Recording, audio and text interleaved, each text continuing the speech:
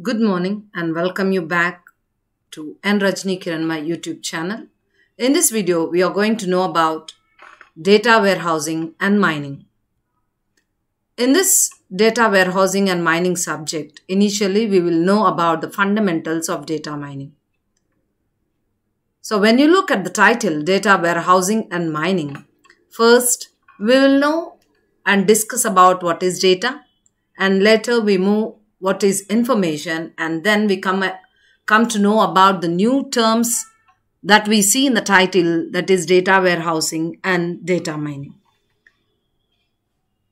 Coming to the definition of data data is viewed as a collection of figures facts and numbers when it is considered as such doesn't have any meaning.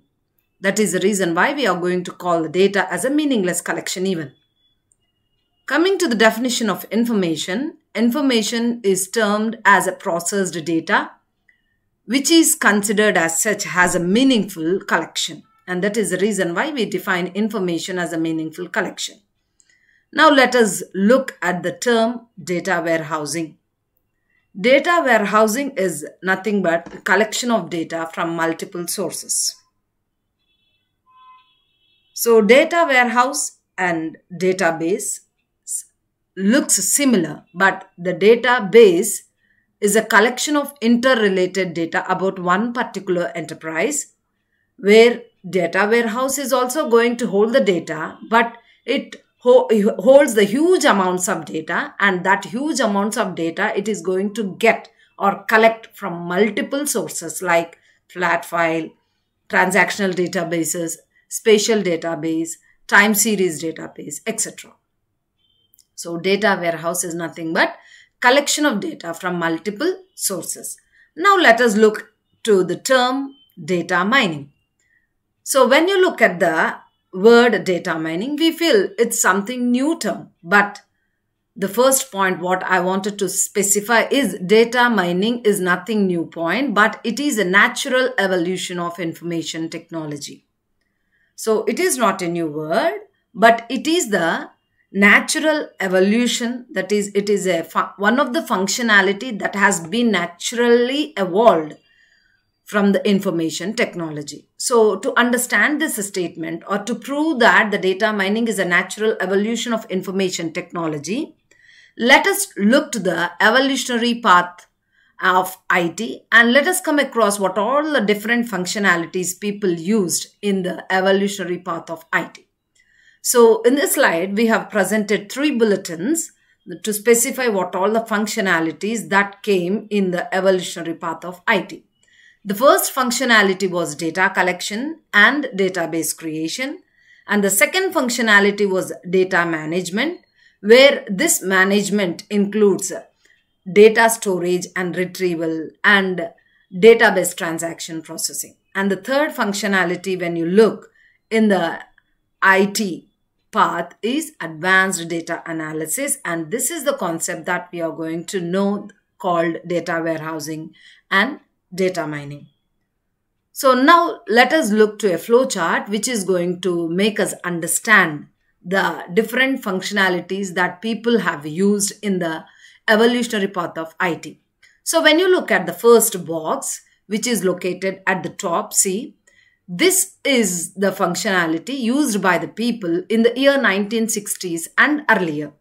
So here in this year, the people started collecting the data and keeping all this data at one place and that is that one place we term as a database.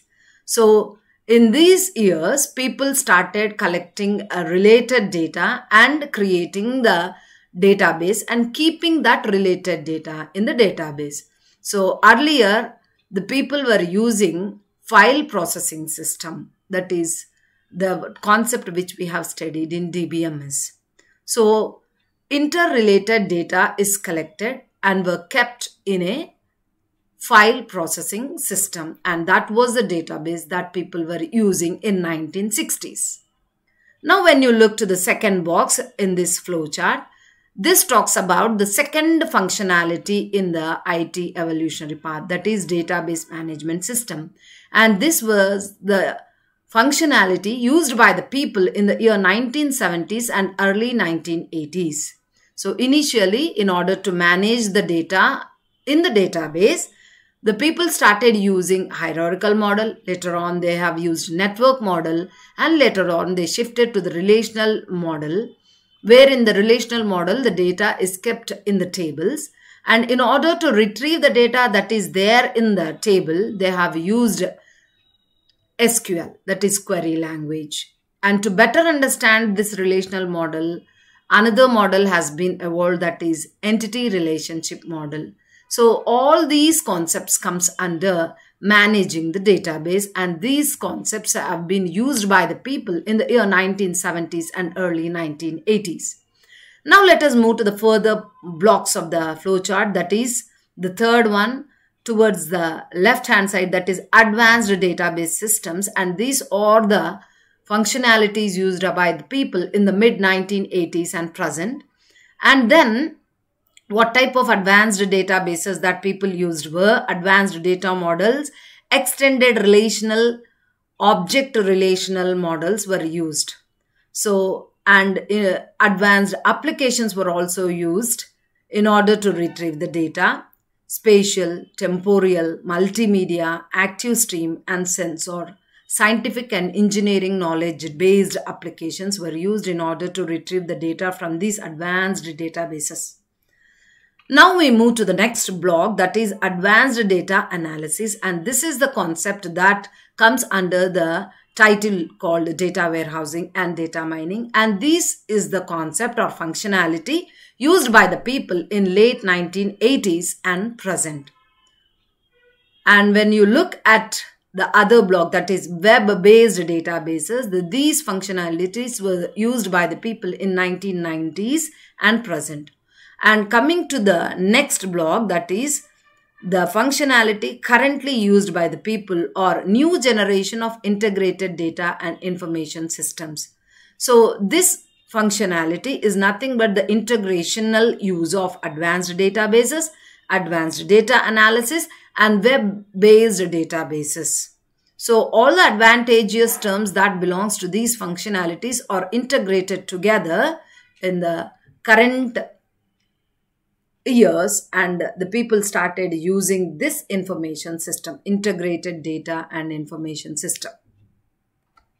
To better understand this flowchart, when you look to the evolution of the database system, we come we get a clear picture saying that in 1960s, what sort of uh, activities or functionalities people used were data collection, database creation, information management systems, and network DBMS or the concepts that people used in 1960s.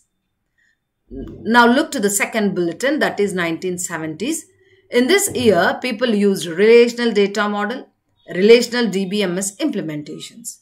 When you look at 1980s, RDBMS and advanced RDBMS and advanced data models like extended relational models, object-oriented models, deductive models were used. Along with these models, application-oriented DBMS like spatial, scientific and engineering DBMS were used in the year 1980s. Moving to 1990s, people started using data mining, data warehousing, multimedia databases and web databases. Finally, when you look at 2000, the people started using stream data management and mining, data mining and its application, and web technologies and global information systems. So these are all the evolution of database technology. So in this video, we have covered the fundamentals of data mining.